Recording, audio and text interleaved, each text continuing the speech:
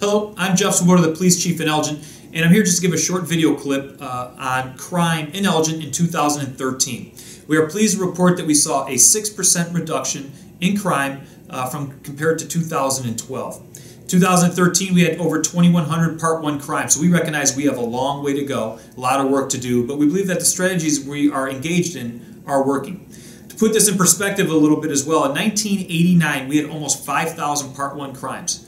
Today, again, we have a little over 2,100. So we were able to reduce crime. When I say we, you and the Elgin Police Department, we're able to reduce crime over 50% from 1989. Going back a little further even, 1972, we had over 2,600 Part 1 crimes. That was a time when the city's population was half what it is today.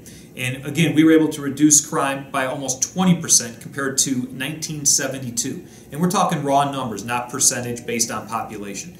So the strategies we're employing, uh, we believe, are working, and uh, we're hopeful that 2014 will continue to see uh, more decreases. A couple areas I want to hit on are uh, burglaries, burglary motor vehicles, and robberies. Each one of those areas are down uh, to almost 20-year lows, and a big part of that is our Like It, Lock It campaign. We have spent a lot of time and energy reminding people not to leave their car doors locked or not to leave them unlocked uh, when they're out working in the yard, not to leave the garage door open. And uh, in times gone by, we recognize people did that routinely. But in today's day and age, locking your belongings up is very important. Many crimes are very are very uh, quick to occur. They are crimes of opportunity. So just simple acts like locking your car doors when you're not near your car are uh, ways you can prevent from being becoming a victim of crime. So uh, while we saw all these reductions, we also saw a few places where crime had increased in 2013. The area that we saw the largest increase was in the area of arsons.